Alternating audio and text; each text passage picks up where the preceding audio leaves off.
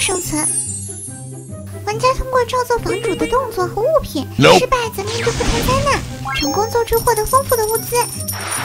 切，照做生存根本难不倒我。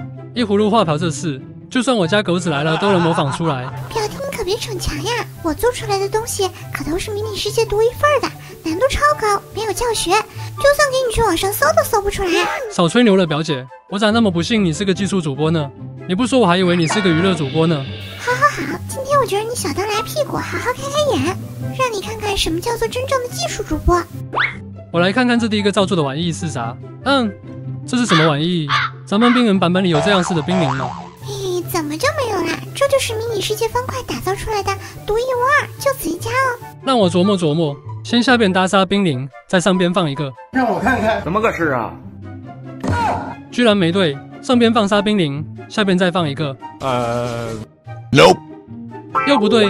哎呦，这到底是咋做出来的啊？时间快到了，就问表弟你汗流浃背了没？我投降，我投降。实在想不出这是啥玩意。别别别别别别别别！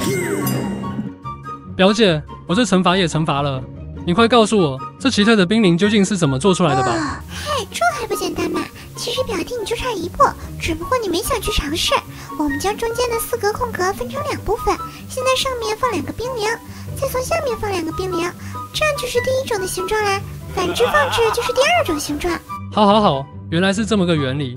原来我喊真相只有一步之遥，继续继续，打不败我的只会让我更强大。这一次是转弯的熔岩球，你看我发射熔岩球后，熔岩球从不同方向角度射出，这其中用到某一种道具方块，你能复刻出来不？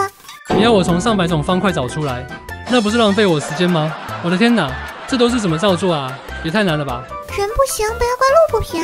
表弟，你就是见识太少，给你看看我的视角。嘿嘿，不，只需要用到锯齿墙就行了。这下你对我的身份是服服帖帖的吧？还要继续吗？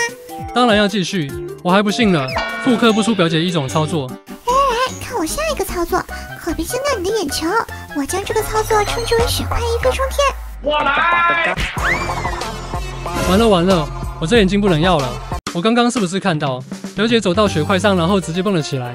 咱们迷你世界有这样的操作？嘿，这下你是一点思绪都没有了吧？